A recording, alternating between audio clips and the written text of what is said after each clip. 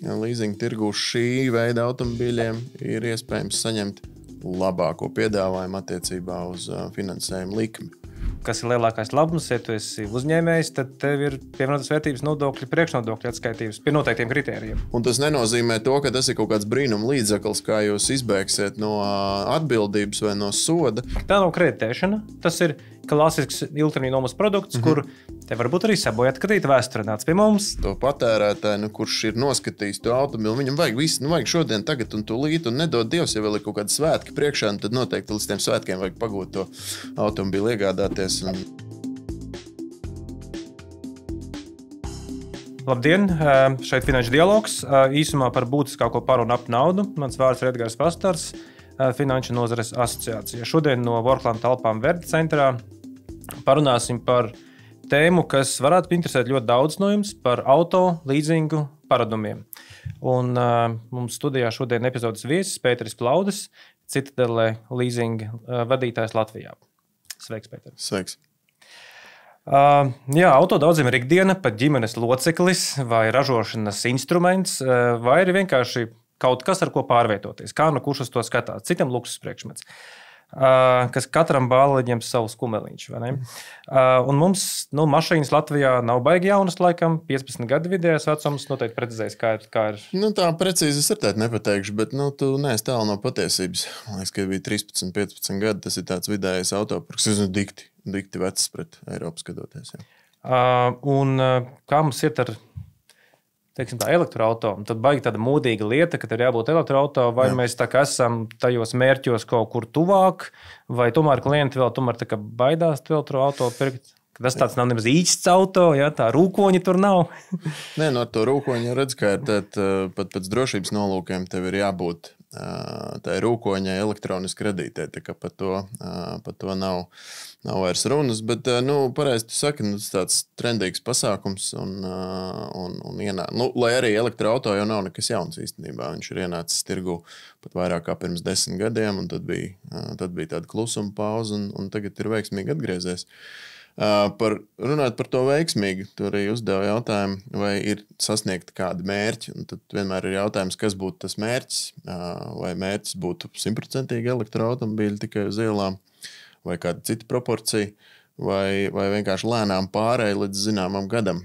Bet, nu, gan šī gada laikā, gan aizdītā gada laikā mēs redzam, ka tas pieaugums ir būtiski uh, palielinājies. Uh, es domāju, tieši procentuālā ziņā, varbūt ne skaitliskā ziņā pēc reģistrētajiem automobīļiem.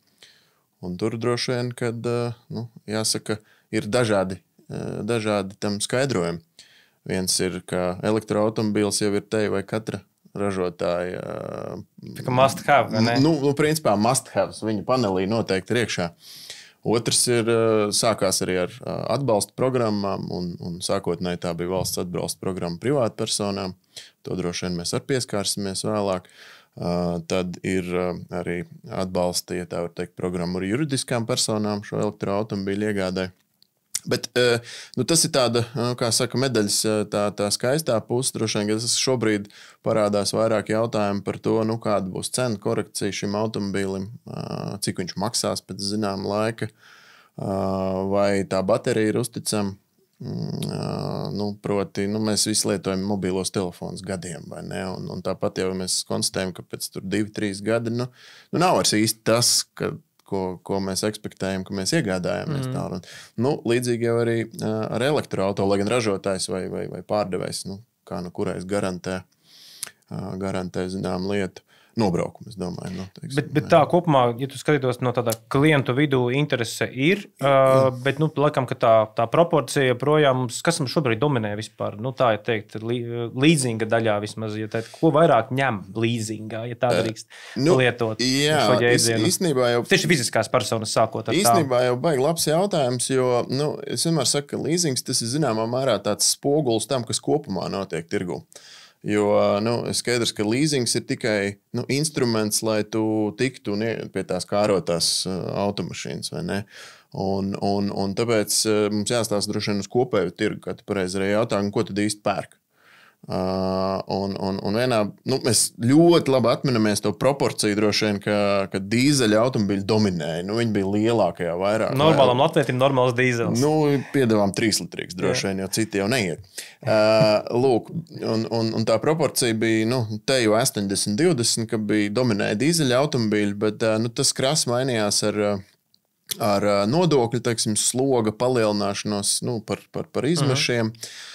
Tāpat tās arī teiksim, uzliktiem kritērijiem, nu, ekoloģijas kritērijiem ražotājiem, kas nu, faktiski pasaka to, ka dīzeļa automobīlu tu vairs nevari nu, tik nu, saka, ekoloģiski dabūt, vai arī tas ir neefektīvi ražošanā dārgi. Uh, Un, eh, tāpēc pēdējo gadu laikā ir mainījies tas trends, kad uh, vairāk pērk uh, benzīna automobīļus, vai, nu, jāsaka, tā, degvielas tips ir benzīns un hibrīds uh, kopā, un, un, un parādījušies ir elektroautorāta, bet nu, tā proporcija ir nu, līdz 10% no nu, kopējā realizēto automobīļu skaita. Uh, Bet, eh, nu, teiksim, tā, dīzels nekur nav palicis. Eh, un, un, un tos eh, šī proporcija, nu, viņi ir mainīgi. Bet nu, pēdējā laikā ir, ir novērojams, ka dīzelīts tomēr kā, sāk nostabilizēt savu vietu atpakaļ.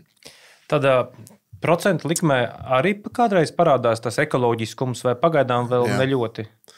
Uh, Nu, vai citiem vārdiem, vai ir atšķirība teiksim, tā, pie, pie finansētāja, vai iegādājies to zaļo vai pieminēto zaļo, jā. Jā, jā, melno dīzeli vai, vai, zaļo, vai zaļo ekoloģisko? Jā, protams. Un, un, liekas, tas spilgtākais piemērs, ko es gribētu minēt, ir tieši elektroautobīļi.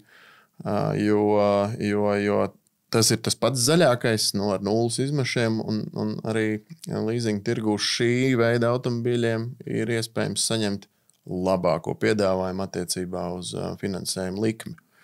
Konkrēti likmes, protams, negribētu nosaukt, jo skaidrs, ka tirgu šīs likmes dažādiem leasing devējiem atšķirās. Bet uh, viennozīmīgi ir teikt, tā ir uh, izdevīgākā vai zemākā likme. Es tādā kāpēc īšu jautājumu. Droši. Ka, kāpēc tur ir zemāka likme? Tāpēc, ka jums ir lētāks kapitāls, jums ir vieglāk kaut kur finansējumu piesaistīt pašiem. Nu, tādā veidā tas te, vai tu vienkārši tā izdomāji, elektroautorā forši došu mazāku likmi? Jā.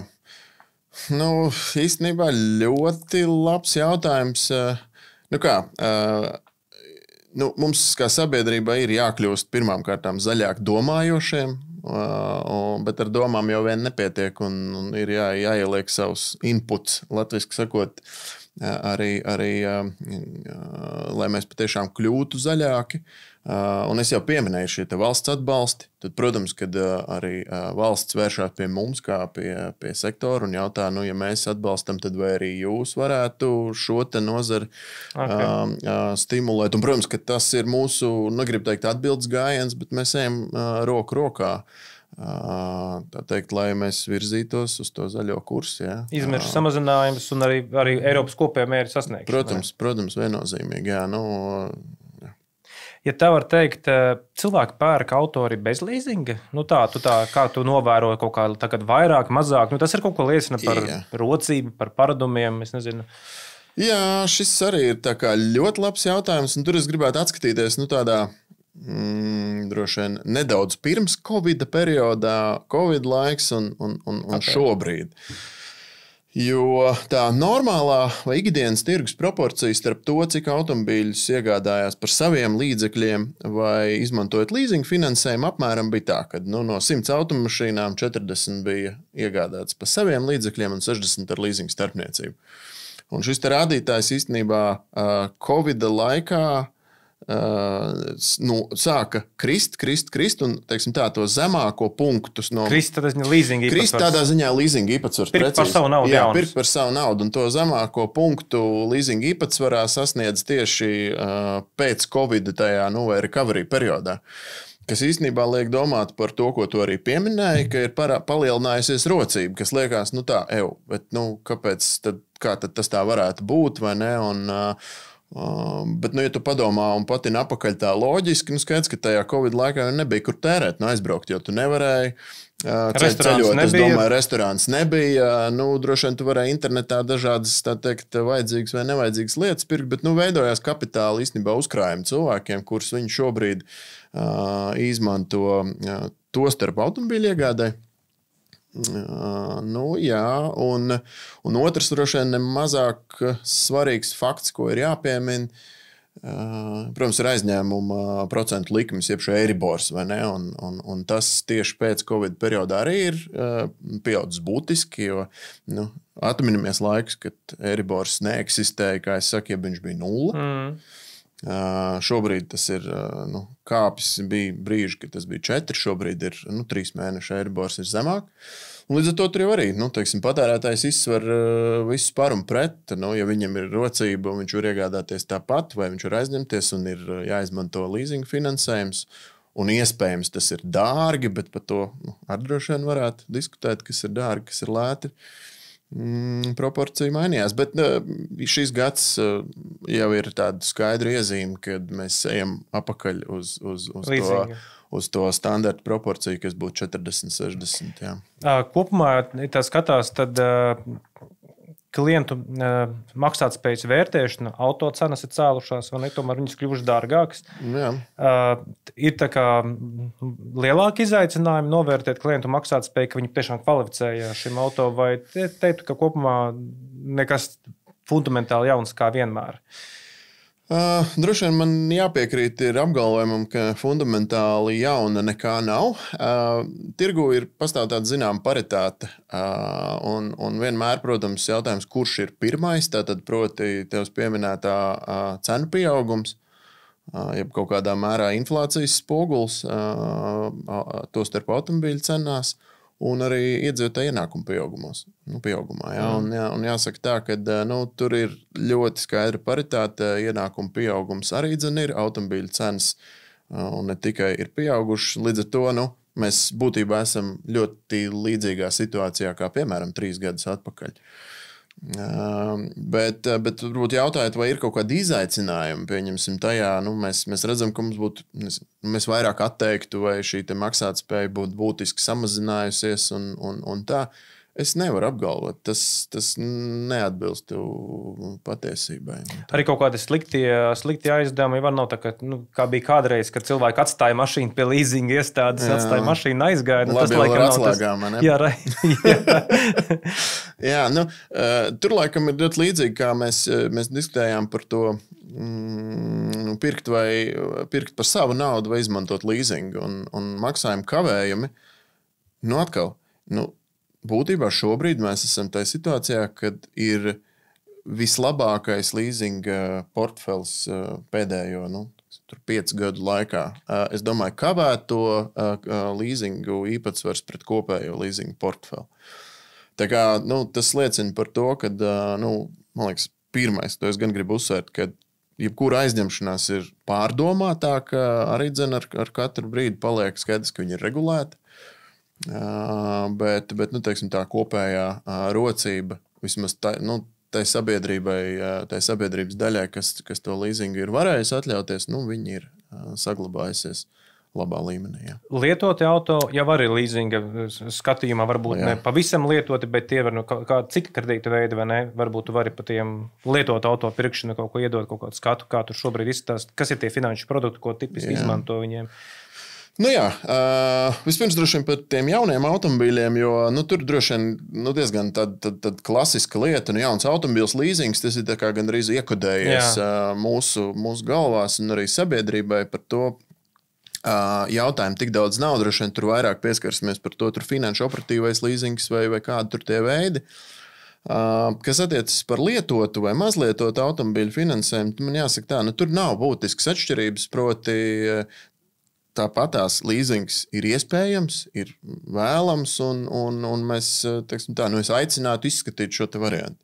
Protams, tur parādās pie zināmas automobīļa cenas, parādās dažādi veidi alternatīvas, kuras ir vērts izsvērt. Nu, piemēram, patēriņa kredīts. Ja, jo, jo, jo nevienmēr teiksim, tā mazlietots vai lietots automobīls mm, maksās tik daudz, vai nu, nu, tādu cenu, ka tas leasing produkts būtu uh, nu, saimnieciski vai ekonomiski pamatots. Proti, process ir drusciņš, varbūt nu, teiksim, ilgāks, negribu teikt sarežģītāks. Nu, tur automobīls jānovērtē, noteikti vajadzēs apdrošināšanu, kasko automobīlim formēt un, un, un tā.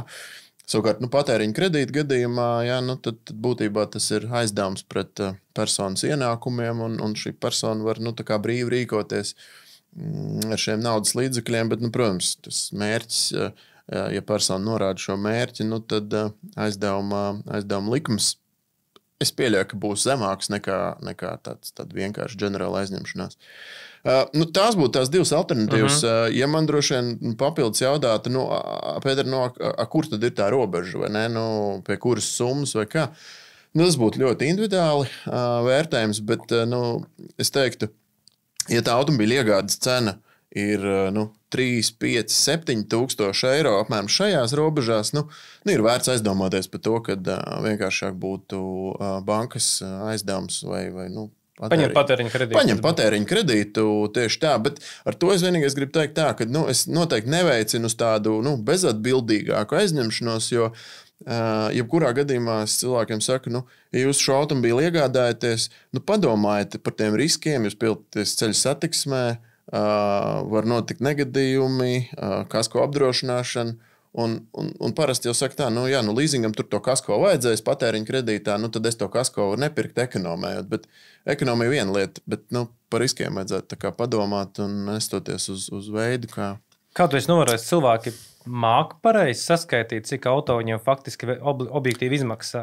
Man kādreiz ir sajūta, ka mm. ne ļoti ka, nu, tiek vērtēts, nu, kā, nu, piemēram, tas pats kasko okta, uh, uzturēšana, tā skaitā arī obligātās apkopes. Nu, jo, par kaut kādu foršu formulu, ko izmanto, tur ir leasing maksājums, reiz kaut kas, nu, kas ir tas vidējais, kā skatīties.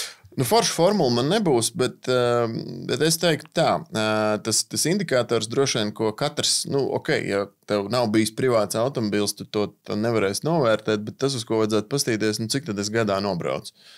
Uh, nu, ja mums tā galīgi šokāk ar, ar, ar kā saka, pierakstīšanu, nu, paskatāmies ECSDD portālā un pēc tehniskām apskatēm, tad to varēs redzēt, nu, cik ir cik tas apjoms. Un, uh, nu, otra lieta. Um, Automobilis ir tāds vairāk vai mazāk, bet emocionāls pirkums. Uh, un, un, un, nu, kā leasing, esot ilgus gadus leasing tirgu, nu, mēs jau redzam to, to, to patērētāju, nu, kurš ir noskatījis to automobili. Viņam vajag visu, nu, vajag šodien, tagad un tūlīt, un nedod Dievs, ja vēl ir kaut kāda svētki priekšā, tad noteikti līdz tiem svētkiem vajag pagūt to automobili, iegādāties un, un nu, pašam prieks un draugiem ko parādīt. Uh, Uh, bet, bet redz, atbildot uz to jautājumu, vai cilvēki ir vairāk sākuši domāt, es gribētu teikt, jā, uh, ir sākuši rēķināt, cik man tas viens kilometrs patiesībā izmaksā. Vai taksometrs nesanāk lētāk? Ja? Vai taksometrs nesanāk lētāk?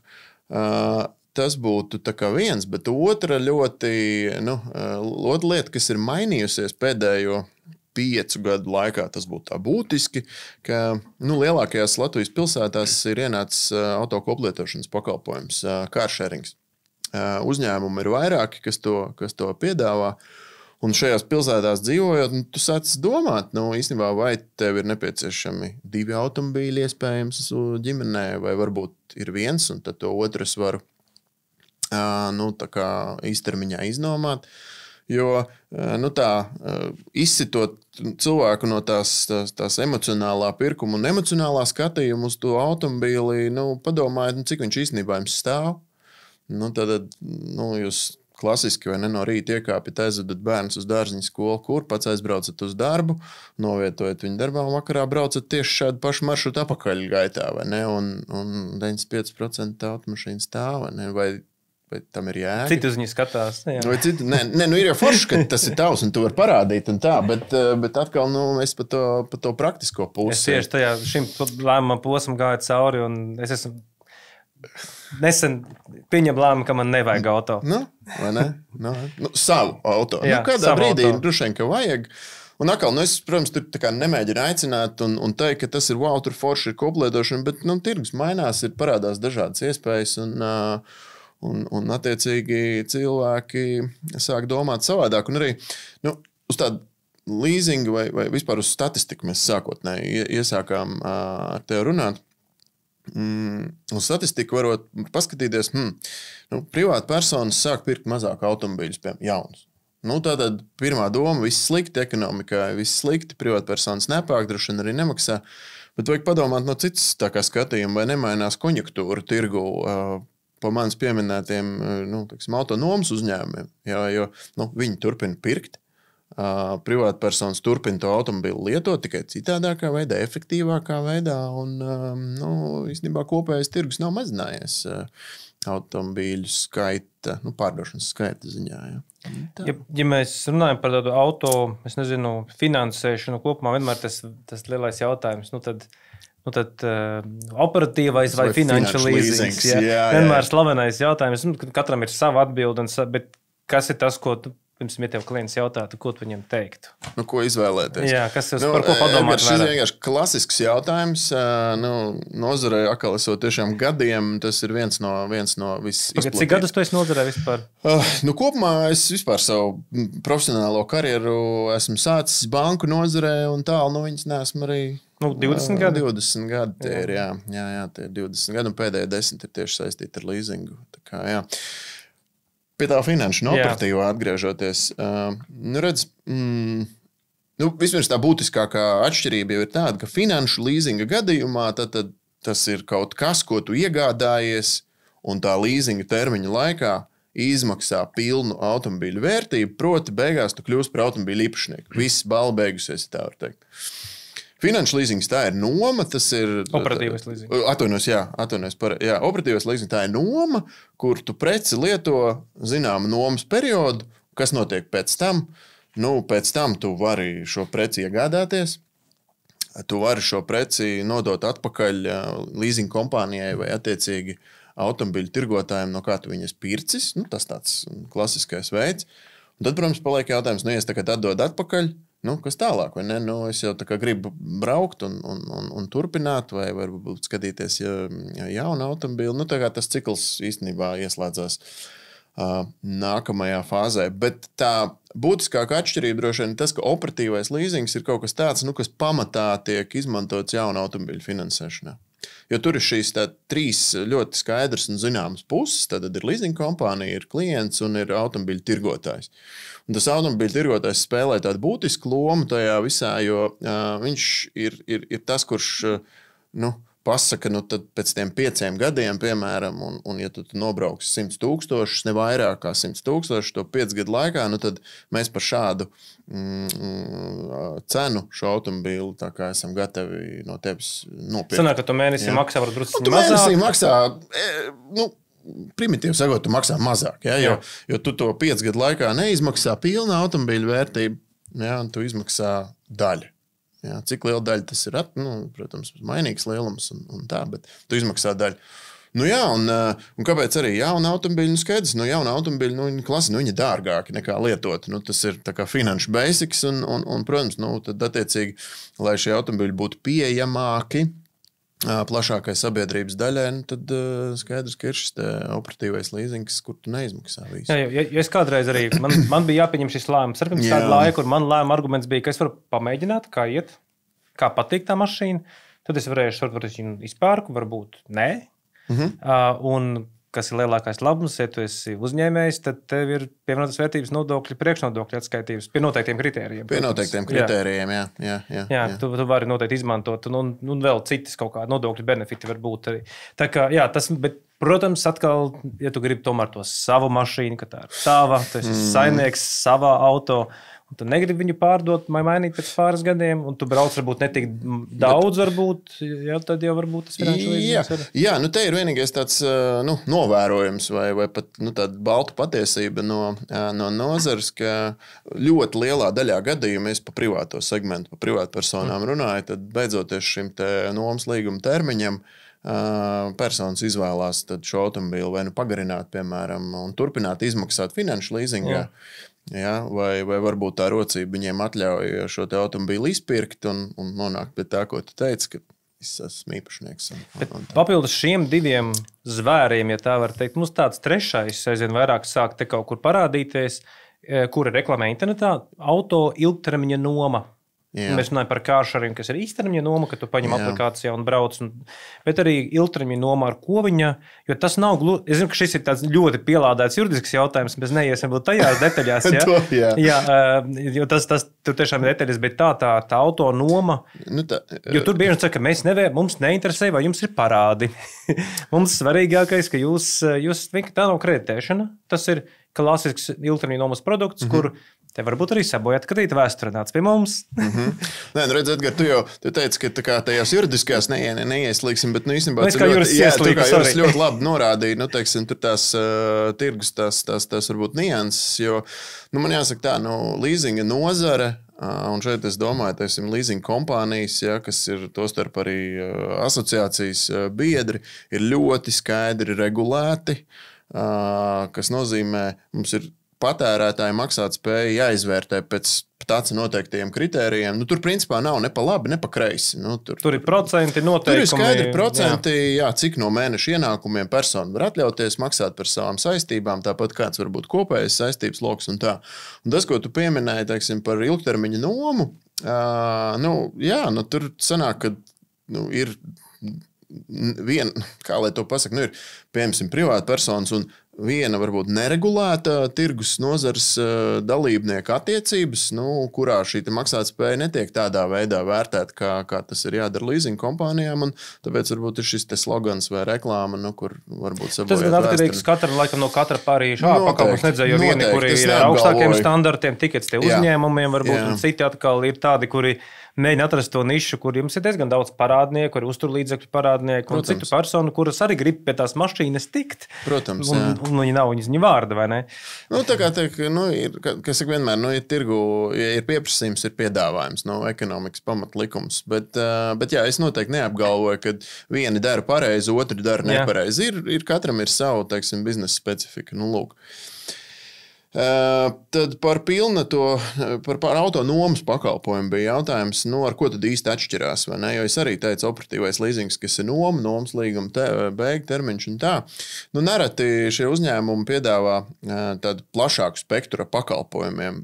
Proti, mēs sarunas sākumā jau pieskārāmies, teiksim, tev automobilim nepieciešama kasko apdrošināšana. Nu, ja tu esi tāds atbildīgs mm. tur, tur vai ne, tev ir nepieciešams servisa apkopes, nu, ziemas riepas jāmaina vai vasaras jāliek virsū, logs šķidrums jālēj un, un, un citas lietas, kas tev ir saistītas par un ap to automobīlu. Un, un tad tā ilgtermiņa noma būtībā tev nodrošina to pašu, ko, ko, ko īstermiņa noma, jo tu, tu paņem to īstermiņu uz, uz pāris kilometriem, tu jau nedomā ne par ko, vai ne? Nu, pat benzīns nav jālai vai dīzels. Mm, tāpat tās ir šeit. Tad tu maksā fiksētu mēnešu maksājumu, kurā tev ir iekļauts nu, principā, viss. principā viss. Nu, es negribu teikt, viss, jo degviela tur būs jālai. Jā. Lielākajā daļā gadījumā. Nu, tā, ja. nu, ne, nu kā, nu, nu, cilvēks jau ir slinks, nu, atzīsim, vai nē. Nu, un slinkums savukārt ir jebkurš tehnoloģiskā progresa pamatā. Un, un, un, nu, tad kāpēc nē? Nu, tev ir viens maksājums. Un, Jā, līdzīgi, kā, līdzīgi kā šeit, laikam, mēs arī kā asociācija izlēmām pārvērties uz Worklanda telpām, ja mēs negribējām maksāt 7, 8 rēķinus iepriekšējās telpās. mēs gribējām vienkārši vienu rēķinu, jo grāmatas jā, ir jāuztur šajā brīdī. Viņš jau ir ērtāk, viens rēķins. Jā, tur, tas varbūt tur ir citi mīnusi un plusi katrā, katrā veidā, bet tas viens rēķins, viņš ir baigārtais. Nu, priekš slinkiem cilvēkiem, un es arī sevi pret sliņķi pieskaitu. Jā, Nē, nu, bet tā ir ērti. Nu, kāpēc? Nu, tieši tā. Nu, un, un tas, jā. Uh, Bet nu, atkal, katrs jau, protams, izvēlās to, kas eh, pie zināmiem apsvērumiem ir vai no nu ērtāk, vai izdevīgāk, vai, vai, vai kā citādi. Tad, kad uh, auto kāds vēlas iegādāties līdzingā, mums ir tāda lieta kā galvotāja, līdzēņēmēji. Mums mm -hmm. šāda, šāda lieta mums arī ir, vai ne? Eksistē, protams, un tur eh, nu, es sākšu ar tiem līdzēņēmējiem, jo mm, tas ir droši vien tāds institūts, tā var laikam teikt, ja? mm. uh, kas, ir, kas ir radies nu, jāsaka, pēdējo piecu gadu laikā. Um, un būtībā mēs runājam par mājsaimniecību. Klasiskajā variantā, nu, tur teiksim, ģimene, vīrs un sieva. Uh, un, un, un, un līdzaizņēmēji nozīmē, ka mēs varam izvērtēt šo abu uh, personu uh, ienākumus, abu personu saistības un tādā veidā saprast, vai šī mājsaimniecība būtu finansējumu. Jo nu, ir, protams, gadījumi, nu, ka, ja mēs izvērtētu atsevišķi, nu, piemēram, vienu vai, vai vienu personu no šīs maisiņniecības, tad, nu, tad, tad pietrūktu. Ja? Kāpēc es sāku ar līdzaizņēmējiem? Jo tas ir tieši attiecināms uz mājsaimniecībām, tā kā jau izstāstīja galvotājs. Tas ir druskuļi juridiski sarežģītāk, varbūt arī nemēģināšu tur, tur, tur um, ieslīgt tajās um, niansēs, bet jāsaka, galvojums ir kaut kas tāds, kas ir šobrīd saglabājies vairāk juridisku personu uh, finansēšanas mm, šajā jomā, kur ir uzņēmums, nu, kas tiek finansēts, un tad ir šie galvojumi. Uh, no, no uzņēmuma no vadības vai īpašniekiem. Vai mātes sabiedrības. Vai mātes sabiedrības. Jā, nu es vairāk tā kā par privātpersonām uzreiz domāju, un, nu, kas, kam ir teiksim, tāds nu, cita varbūt pat ekonomiskā jēga bieži vien. Uh, nekā, nekā to, ka, ka šī te, piemēram, nu, īpašnieks, kā, kā privātpersona, spētu pats atmaksāt šos aizdevumus. Nebūtu nē, bet tas ir vairāk nu, kā, uh, kā, kā viņa apņemšanās uh, nu, būt šajā biznesā labos un, un sliktos laikos un, un kopīgi ar kreditoriem risināt. Ka Mēs to pie uzņēmuma eh, autoparka arī tiksim. Es pie fiziskās personas noslēdzot, gribēju vienu tādu provokatīvāku jautājumu. Ja mums Latvija ne tikai mīlēja dīzeļus, bet viņiem patīk arī dzert. Pēc statistikas mēs nu, esam ļoti tālu. Jā, paltīti. Jā. jā, jā, jā. un, un eh, mums ir eh, katru dienu policija ziņo, cik daudz dzērā šoferu noķert, un tas skaits nav ļoti iepriecinošs. Kaut kā līzings izjūt to konfiskāciju stāstu vai, vai sevišķi nē? Droši vien jau pirmais, uzreiz, ko es gribu tā kā, tādu skaidru ziņojumu pateikt, ka uh, dzert un braukt pie stūres nevajag. Nu, tas, ir, tas ir vienkārši likums, un par to nediskutējam.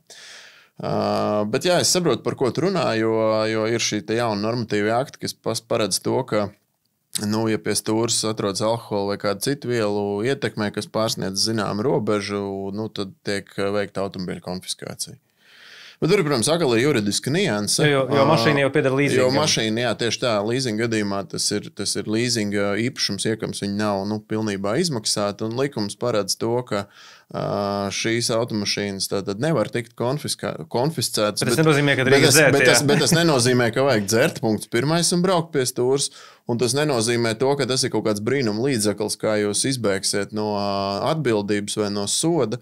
Jo uh, tas, kas notiks, tāpatās šis sots. Būs aizvietojošā konfiskācija. Būs aizvietojošā konfiskācija. Uz dzīvokli vai uz citu aktīvu. Jā, jā un, un, un drīzāk, nu, teiksim tā, nu, nu padomājiet, vispār, ne, nu, nedzerat un nebraucat, bet, nu, ja, ja vispār gribat šo tēmu panalizēt, jo, nu, sots ir, tas, ir, nu, tas ietekmēs visu, nu, tās, tās personas ikdienu, varbūt, kad ir hipotekārais kredīts arī tai personai vai ne. Un, Un tad tālāk, ja, ja šo sodu nevar nomaksāt, nu kādas būs konsekvences? Nu, droši vien, ka tas tiesas izpildītājs tik tālu tas nonāks versijas arī piedziņu uz tās personas citiem aktīviem, to starp dzīvokli. Un, nu, nu, nu, tā ir īpaši tā mašīna visticamāk. Nu, tas ir beigu sākums. Jā. Nu, vienkārši ne, nedzeram un nebraucam. Jā, līdzīgi tas, ka viņš pieder citai līdzīgai kompānijai, nenozīmē, ka jūs pirmkārt vispār dzert nevajag, un ir īpaši braucot. Jā. Un, ja to dara kopā, tad jāatcerās, ka līdzīga auto nav imūna pret, pret sodu. Jā, jūs, Jā. jūs beigās atbildēsiet ar vēl lielāku apjomu. Visticamāk, ka tas ir jauns auto un aizvietošā ir auto vērtība. Auto vērtība jā, jā, un uz visu, kas jums pieder. Mm. Uh, tas noslēdz par fiziskām personām šāds pozitīvs nots. un tagad parunājot par juridiskām personām, kā mums izskatās vispār juridisko personu autoparks. Viņš kaut kā, kaut kā zaļāks paliek, viņš ir, mm. viņā ir kaut kādas vai, tendences, ko vispār, ko vispār ko juridiskām personām no leasinga vajag. Jā. Nu, vai paliek zaļāks, tad man droši vien jāsaka tādā uh, izpildījumā, ka nu, vai tie automobīļi, kuri nonāk uzņēmumu autoparkos, vai viņi ir ar mazāku izmešu apjomu, Jā. vai varbūt kā elektro vispār bez izmešiem. Jā, uzreiz var pateikt, ka tas tā ir. Bet kāpēc? Nu, tāpēc, ka jebkurš nu, auto industrija vienkārši kļūst zaļāka un, un skaidrs, ka šodien uh, jaunu automobīlu tu nopirksi ar būtiski zemākiem izmešiem nekā tas ir bijis gadus, gadus atpakaļ. Um, lūk, Protams, uzņēmuma autoparks tas jau ir kaut kas nu, lielāks. Tas vairs nav varbūt viena automobīļa iegāde. Un kas ir ļoti, ļoti būtisks fakts pie tā zaļā, ja mēs nu, pieskaramies, tie ir nodokļi un, un auto eksploatācijas nodoklis, kas, protams, pie vidē draudzīgākiem automobīļiem ir mazāks. Un, ja tev ir liels autoparks, nu, tā ir jau finanšu. Uh, finanšu ekonomika. Bet ko tad, nu, ko tad uzņēmumiem vajag? Nu, nu, diezgan jau klasiski. Nu, ja mēs par vieglo automobīļu tirgu, nu, nu, tad tās ir vieglās automašīnas, nu, tur biroja darbiniekiem un, un tā. Bet lielākā sadaļa īstenībā ir tas mazais komerctransports.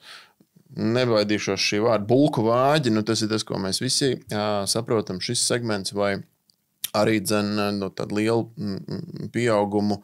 Atkal Covid bija tas, kas to nu, pastūma ir šīs piegādes automašīnas vai, vai busiņi. Nu, nu, arī šobrīd daudz vai neiegādājās preces internetā, mm. kas mums to visu piegādā. Nu, tā, nu, tas, ir, tas ir tāds pamata. pamata Bet arī kaut kāda liela auto, kaut kas tāds. Lielie, tu domā, tā kā vilcēji vai, jā, jā, vai jā. traktori vai ekskavātori, kaut kā tehnika. Jā, protams, nu, tā ir, kā es sadalīta divos tādos blokos. Viens milzīgākais vai lielākais leasinga bloks ir tieši viegli automobīļi.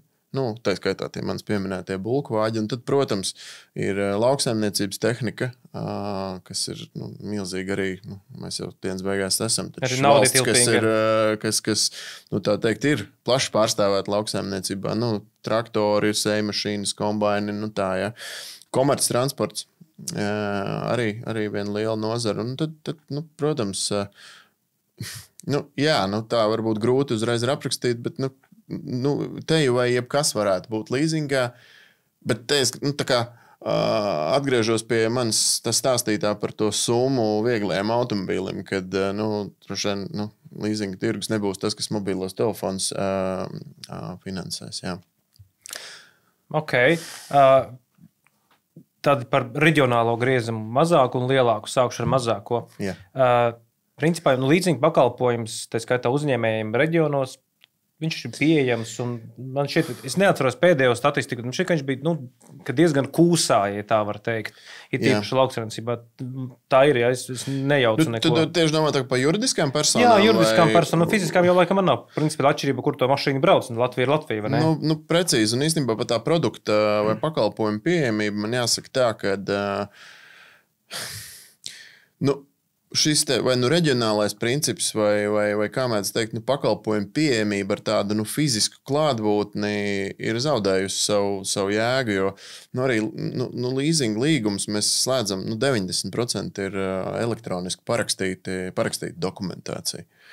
Tas nozīmē to, ka nu, tev nav vairs tā fiziskā klātbūtne nepieciešama, un, un, un vēl kas ir nu, leasing tirbu ļoti būtiski, ka, kā jau teicu, nu, leasings ir tikai iespēju radīšana nonāk pie tās kārotās uh, preces. Mm. Tas nozīmē, ka tā prece jau pamatā kaut kur tiek iegādāta. Vai nu tas ir preces tirgotājs, uh, un, un būtībā šis preces tirgotājs arī nodrošina šo pakalpojumu, piedāvā klientam uh, dažādas iespējas no, no tirgus, no, no, no leasing devējiem. Un, un, man liekas, ka tā ir tāda baigta foršā lieta. Jo, uh, Nu, tev pašam atkal nav jāskrien, nav, nav, nav jāiet pie vairākiem. Tu saņem šos piedāvājumus turpat uz vietas, salonā. Es tā teikšu, tas būtu. Bet tā, bet tā, nu, ja tu no nozarēm skaties uzņēmuma mm. pusē, tad ir, ir kaut kas tāds, nu, kas reģionos visvairāk, nu, tad līzinga tiek aprūpēts, kas mums vairāk ir lauksaimnieku reģionos. Jā, protams, topā, jā, jā, nu, protams, protams, protams. Un tur, nu, tad jau mēs varam dalīt smalkāk tos reģionus, kā tu arī teici, kur ir. Zemgala, piemēram. Jā, jā, jā, nu, kur ir ražīgāk vai ne, un, un, un tā, bet, nu, protams, lauksaimniecība tas ir, nu, tas ir mūsu pamats īstenībā. Un mm. viss, kas ir saistīts ar tieši nu, lauksaimniecības tehniku. Jā. Uh, reklāmas ierobežojums, kas bija fiziskām personām, tas nu, tā tev šķiet ietekmēja kaut kā tos patērētāju spēju, jebkurā izpratnē patērētāju spēju atrast to savu uh, finansētāju. Vai, vai tu tā kā jūs patēriņa, klasiskiem patēriņa kredītiem ļoti daudz saka, ka tas bija liels trieciens, arī hipotekāro reklāmas nesamība mm. ietekmēja tirgu kaut kādā, vai līdzingā tam kaut kā bija specifiski varēja just vairāk. Tu nevari varētu tādu likt kaut kur uz ielas, tur auto ar kaut kādu cenas zīmi vai neklāt līzinga cenas zīmi. Es, es, es piekrītu, nē, nu, man liekas, ka reklāma vai, vai tāda patērētāja vai vispār sabiedrības informēšana, protams, ir nu, tāds ļoti varbūt tuvi jēdzieni, bet tas, kā es redzu, ka nu, ja ir absolūts bans vai aizliegums uz, uz, uz reklāmu, tas arī nav pareizi. Un tāpēc, kad nu, mēs jau gribam informēt par iespējām, un tad, nu, ja tu pat nevari informēt par šīm iespējām, tad daudz, uh, daudz teiksim, sabiedrības nu, iedzīvotāji nu, pat nezina, neaizdomājās. Un tad nu, mēs vienmēr kā nozare esam par to, ka mēs negribam teikt, būt uh, nu, uzspiedoši vai, vai, vai, vai nedodies agresīvi. Nē, bet mēs gribam informēt sabiedrību, kad ir šīs iespējas. Un, un, un, nu, jā. Uh, noslēgumā man divi, divi jautājumi lielākie. Viens bija par, mums ir dažādas valsts atbalsta programmas, tur pieminēja arī pašā Jā. sākumā. Vajag turpināt, izvērst. Ir kaut kas tāds, kas tur kaut kā bijis neiedzīgs, vai kaut ko vajadzētu uzlabot. Mēs jau parasti par negatīvo gribam kaut ko runāt, vai ne? Bet, Jā. bet ko vajadzētu darīt labāk? Kaut kas kaut kur var beigties, kaut kas jāturpina. Kā, kā tev izskatās tā valsts atbalsta programmas stāsts? It īpaši laikam uz elektroautorātu. Jā, nu, nu, šobrīd valsts atbalsta programma ir tieši par elektroautorātu. jau pieminēju gan privātpersonām, gan juridiskām personām. Uh, man, mans viedoklis tāds, ka privātpersonām viņi būtu jāturpina, jo, ja nemaldos, tad beigas tai programmai nu, vai starposms ir šī gada nogale, kad, kad attiecīgi personas var pieteikties šī atbalsta saņemšanai. Un man jāsaka, tā, ka tur tas process ir tāds nu, gana vienkāršs, saprotams. Patērētājiem viņam pašam baigi ne par ko teiksim, nav jādomā. Nu, pirks elektroautobīli, nu tā pa lielam, tad šo atbalstu ir saņemts. Tas, ko es gribēju norādīt, ir nu, valsts sektoram vajadzētu būtiski padomāt, kā, ko izdarīt ar uh, juridisku personu uh, šo atbalsta programmu. Viņas jo, tur nav, vai viņi ir? Viņa ir. Uh, viņa ir, viņa ir uh, nu, jau kādu gadu Bet nu, teiksim, tā aktivitāte šajās uh, programmā tieši attiecībā uz elektroautorātu finansēšanu ir absolūti niecīga. Jo nu, programma ir nu, ļoti sarežģīta un laikietilpīga. Ja privātpersonai neietekmē laiku vispār, nu, tad aizgāju uz salonu, tā vienkārši sakot, nopirku automašīnu, atbalsts ieskaitījās, principā nopirku lētāk. Un tā juridiskajai personai, lai tu tā, tā teikt, nonāktu vispār līdz šai automobīļa iegādai, nu, jāsaka, ir divi mēneši. Nu, tas ir stabili. Uh, un, un plus šis atbalsts pie esošās programmas tiek izmaksāts tikai pēc gada. Mm, nu, un atkal, nu, iesaka, ja šī programma ir ar skaitāmiem darījumiem, nu, tas liecina par to, ka kaut kas nav ok. Tāpēc mm. es aicinātu no savas puses domāt identiskā setupā, kā tas ir ar uh, privātpersonu programmu. Nopirki, atbalsts uzreiz, noteikti kriteriji. Un, ja, klienta ceļojums, ja tā nu, var teikt, klients, ir nu, tas ir nu, absolūti svarīgi. Nu, jo, nu, vienkārši nu, padomājam tā, nu, es domāju, ka saka, arī pilsoniski. Nu, Nu, nu, lai lai nu, nu, radām kaut ko tādu, kas ir forši, nevis tikai tāpēc, ka vajag. Nu, mm. Nu, tad viss būs forši. Uh, tā, ja, var, ja skatāmies uz, nu, uz leasinga tirgu ar tavu pieredzi, ir kaut kas tāds, kas varbūt tādā izdzīvošu atbalsta programmu juridiskām personām, ko tagad minēji, ir kaut kas tāds, ko mums vajadzētu darīt valstī kaut ko vēl pamainīt, lai varbūt tirgu, tirgu būtu labāk? Vai kaut kas ir kaut kas tāds, ko redzi, kas tāds, nu, nu, saka, nu šis ir, šis ir traucējošs? Vai nekas tāds nenāk? Tu tur ne, nu, nekas tāds viens, speci... jo, ja es izņemšu vienu specifisku lietu ārā no konteksta, droši vien tad vai nu man sāks noriet, vai, vai tas nebūs pilnīgi. Jo, protams, nu, tas, ko varētu, varētu skatīties, ir, ir, ir, ir juridiski personu tieši segments jautājums. Nu, uh, Mēs esam vairākas reizes cēluši to luksus vai, vai, vai reprezentatīvo auto slieksni. Nu, Tie 50 tūkstoši, laikam, tur bija vai ne? Vai nu, jā, bija tas, tu, tas pateikšu, no, ieskaitot nodokli, bija 60, 400. Jā, jā, jā, kas, nu, jā. Nu, tur tā, tagad ir 72, ja es nekļūdos. Uh, nu, man liekas, vispār, nu, evo, nu, nu kāpēc? Vai ne? Uh, nu, par to varētu skatīties. Tāpatās arī, protams, ir šie PVN, jau tevis pieminētais tur, tur priekšnodoklis un, un, un iespēja, iespēja tur, teikt, atskaitīt vairāk. Nu, Nu, nu, vienkārši nu, nu, jā, ļaut, ļaut nu, tad, tad brīvāku lietu. Un, nu, es negribu pieskarties eksploatācijas nodoklim, tāpēc, ka nu, skaidrs, jā, nu, ja tā mašīna nav zaļa, vai dzinējs atvainojas, nu, tad, tad, tad nav zaļš. Tā tur droši vien būs jāmaksā. Mm. Bet uh, viena gan vēl lieta par to eksploatācijas nodokli, ka es, es aicinātu domāt. Uh, vairāk tādā burkāna, burkāna principā, nevis pātaga.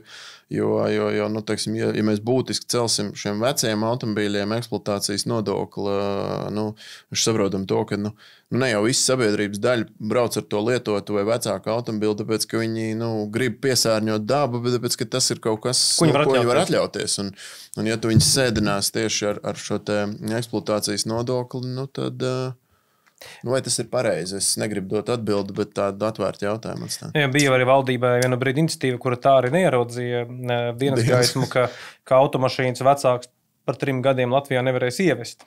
Nu, jā, bet tas tā jā. laikam arī man šķiet nekur netika arī atbalstīts, jo bija vēlēšanas, visi saprata, ka viņi gribētu tikt pārvēlēti. Nu, jā, nē, nu es, es teikšu tā, nu nevajag aizrauties ar uh, ekstrēmismu. Uh, un, un, man liekas, balanss ir jāatrod jebkurā, uh, jebkurā, jebkurā nu, tā, lietā, un to starp arī šeit. Pašā noslēgumā man, man tāds privāts ziņkārīgs jautājums par, par auto. Uh, luksus auto, no tādus labus luksus auto. Viņus ar līzingā ņem, vai viņus vairāk pērk Ar koferi. ar koferi. Nu, ar, jā, nu, tas laiks, kad tas viss koferi, interesē, kas tagad pie ielām Rīgā. Jā, jā, tas laiks, kad koferi varēja nopirkt, ir beidzies. Uh, jo nu, ne tikai saka, banku nozarei, leasing nozarei ir jāizpēta klienta teikt, naudas līdzekļu izcelsme, bet, uh, bet jebkuram tirgus dalībniekam, tostarp arī tas, kurš no kā jūs pērkat automobili, un skaidrā naudā arī automašīnu nevar pirkt um, virs noteiktas summas. Uh, bet nu, tu droši vien domāji par saviem līdzekļiem. Jā. Jā. Uh, nu, ir gan, gan. Uh, ir gan, gan. Un, un arī, nu, kas ir luksus, tad es atļautos novilkt tādu robežu šķirtni, ka tā ir automašīna, kas ir virs 100 tūkstošiem. Tas ir tāds, mēs nozarē smējamies un sakām, hipotekārais līzings. uh, jā, nu, gandrīz dzīvokļu cenā, bet uh, nu, jā, pērk, arī, pērk arī tādas. Nu, tiesa, uh, tur, tur droši vien atšķirās tas klients, vai, vai tas ir privāti, vai tas ir tomēr uz uzņēmumiem. Un, nu, jo, protams, nu, ja, ja tas ir privāti, tad, tad kādiem ir jābūt šiem ienākumiem vai nē. Un, un, un tā. Bet, jā, atbildot tā pavisam īsi, pērk gan tā, gan tā. Bet tomēr tas vidējais cipars ir krietni zemāks. Nu, tas kaut kādā 20 jau varētu būt kaut kas. Uh, nu, tas, tas 20 tas būtu tāds nu, absolūts vidējais, vidējais finan, finan, nu, finansētā summa, bet nu, teiksim, automobīļu, automobīļu cena jau ir uh, tuvojās drīzāk 30. Nu, tas bija ar amortizāciju ieskaitot. Jā, jā, jā. jā, jā, jā. Ok, uh, paldies tev par sarunu šodien. Paldies arī tev, ka uzaicināji. Uh, jā, paldies tev vēl, vēlreiz. Un uh, šodien mūsu epizodes viesis bija Pēters Plaudis, Citadela Leasing Latvijā vald, uh, vadītājs. Un, uh, un šis bija finanšu dialogs. Īsumā par būtiskāko parunu ap naudu. Uh, mans vārds ir Edgars Pastars. Bijām ēterā no Verde centra Vorklāna telpām. Un uz tikšanos kādā no nākamajiem epizodēm. Paldies jums! Paldies!